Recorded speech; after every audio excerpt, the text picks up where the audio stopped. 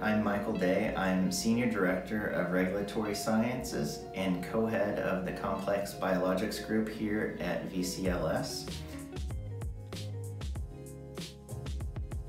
With regard to our role here at VCLS, what I do on a day-to-day -day basis is provide regulatory strategy to our clients ranging from small virtual companies to the larger pharma companies and I help them to bring their development programs from concept to first in human studies and through approvals.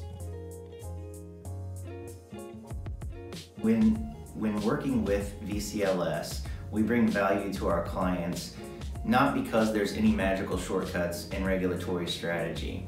In fact, regulatory strategy is the same for all companies but the value in working with an experienced consulting firm such as VCLS is utilizing the experience of the individuals that are present and helping you to get your project and your development program aligned and on track for success the first time through in the most efficient manner possible.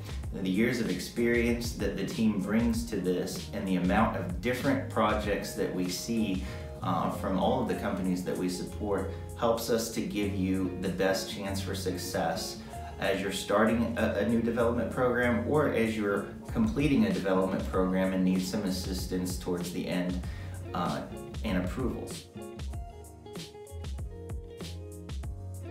I've worked at VCLS only for about a year and what motivates me in working with this group of people is the expertise and the passion they bring to the projects. Uh, we continually challenge each other to find solutions for our clients that end up uh, creating more efficiencies for them and it drives these therapies towards approvals, which in the end helps patients, which is the final goal.